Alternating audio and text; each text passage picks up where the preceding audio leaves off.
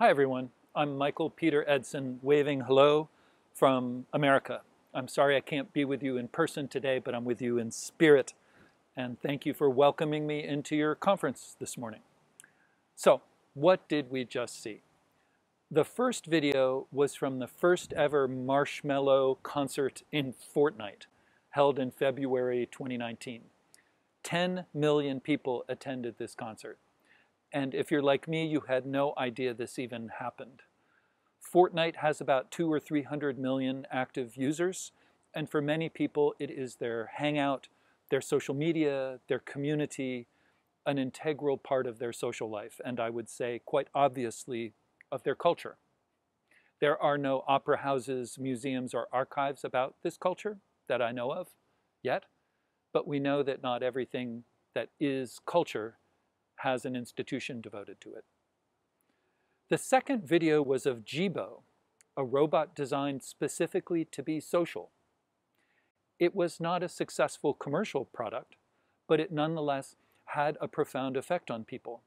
In testing and focus groups, participants often refused to leave their sessions before they had personally said goodbye to Jibo people feel empathy for a wide variety of entities. If Jibo moves us and we care for it, and it creates, even on some basic level, is it part of our culture? Might the Jibos of the world collectively have a culture? The last video was a dance routine performed by Spot, a utility robot designed by Boston Dynamics. Spot is designed to do things like carry bricks and run errands on construction sites. Dirty, dangerous, tedious work. But Spot can also dance, move with beautiful dexterity. The creators of this video were quick to point out that Spot didn't improvise these moves, and that the video took over 40 takes to produce. But I would add that this is frequently the case for human performers as well. I recently saw the Mariinsky Ballet in St. Petersburg, Russia. Those dancers don't choreograph their own moves, and many of them have trained 10 or 20 years, more or less nonstop, to have the privilege of performing on that stage. I have no doubt that before we know it, Spot and his friends will be choreographing their own work. Will we allow ourselves to think of that as culture? Will these performances be part of our collective cultural heritage? But I skipped a video. Right before Uptown Spot was a piano performance by researcher Chris Howard. The first piece he played you may have recognized as a Bach prelude, but the second piece he played was composed by an algorithm. Most people can't tell the difference.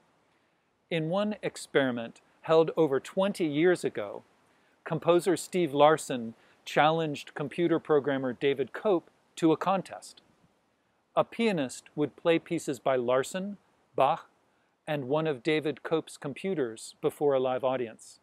And the audience would vote on who they thought composed which piece. Quote, Larson was convinced that most people would easily distinguish between soulful human compositions and the lifeless artifacts of a machine, wrote one reviewer. In fact, at the end of the performance, when the artist audience voted, they thought that the computer's piece was genuine Bach, that Bach's piece was composed by Steve Larson, and that Larson's piece was composed by a computer. Audiences, I'm told, become sullen and angry when they find out that the music that moved them spiritually was composed by a machine. Now, why did I show you this? Why did I take your time with this here on the second morning of your Europeana annual general meeting? I did it for a couple of reasons. The first was to make a point about culture and institutions, to create a vivid reminder that culture is so much broader, bigger, deeper, and more dynamic than we account for in our daily work. Our institutions are amazing, but the world is more amazing still to those 10 million people who attended the Marshmello Fortnite concert in February, it was their culture and it was real. So, if we're really serving the needs, the cultural needs of Europeans, and perhaps of everyone everywhere, we need to think more broadly about what culture really means. The second is to make a point about technology and change. As crazy as the, as the world is right now, particularly concerning the dark side of platforms, privacy, and social media, my own subjective studies and intuition tell me that we're in the proverbial calm before the storm.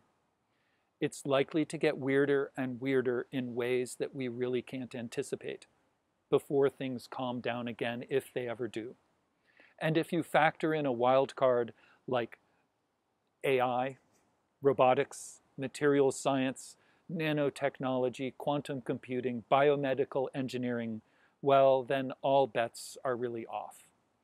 Dancing robots that love you and computers composing music that moves your soul are the harbingers of a culture that is lived now, moving forward and into the future, not the culture that we see and think about in a rear view mirror.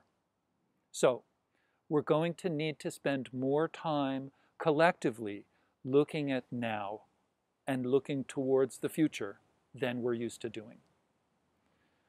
The third is to make a point about speed. I think the speed and scale of change today, dancing robots, robots that love you, AI compositions, not to mention phenomenon like globalization, climate change.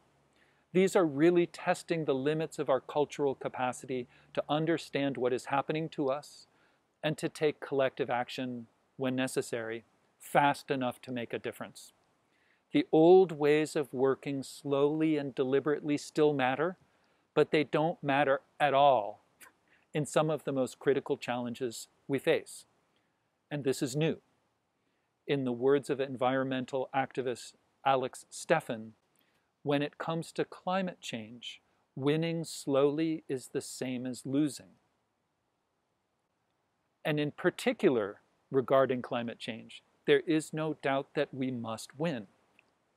That and much else will require an acute attentiveness to speed and to the civic actors, the cultural forces, mostly young now and young at heart, who have a different set of expectations, a different sense of speed, and a different sense of the consequences of slow, careful, deliberate progress, the ways of yesterday. And finally, hidden in these fun little videos is an implicit message about networks, capacity, and resilience. A few years ago, when we were just beginning to form our vision for the Museum for the United Nations, we knew that the problems we were tackling extreme poverty, displaced people and refugees, gender equality, the climate emergency these problems are so vast and so difficult that we could never make progress alone with top down control.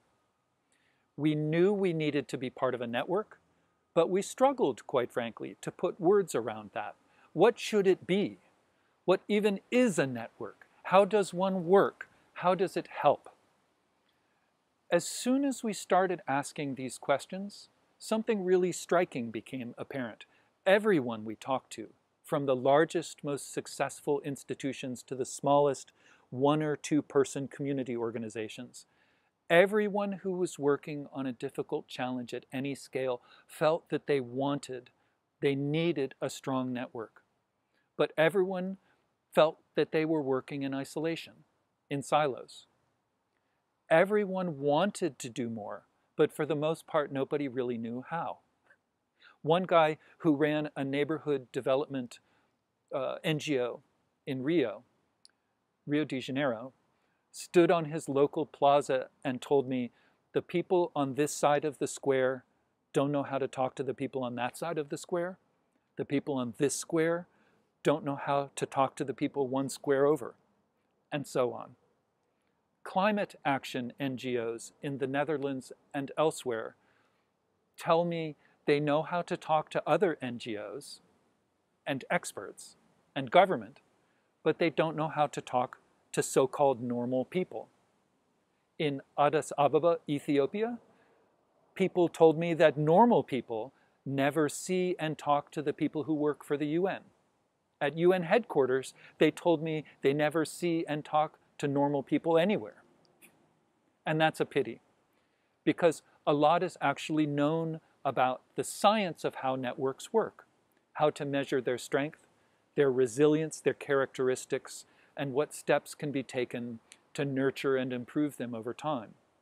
Quantitatively, we know that a network like this will be more powerful, more capable of innovating, of sustaining effort, of sensing, reacting to, and anticipating opportunities and change than a disconnected and disjointed network like this.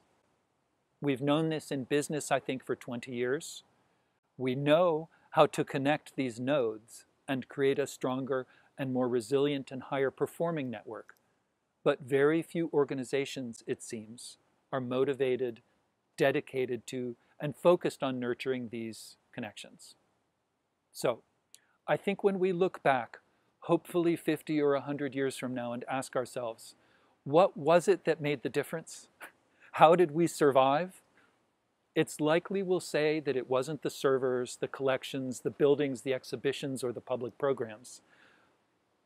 Or rather, we'll say that those things mattered among many others, but as a means to an end, which was to create and strengthen the network, the connections between people, so that the world as it is could be understood, and the know how and imagination and vitality of millions and billions of people could be connected and could flourish. So, to overcome the challenges we face and build a strong, resilient future so that we can enjoy our talking, choreographing, classical music, composing, global online festival, convening robotic dogs, among other things we're going to have to think more broadly about what culture is, who owns it, who it's for. We're going to need to work fast, and we're going to need each other more than we ever have before. So, thank you, and enjoy the rest of your conference.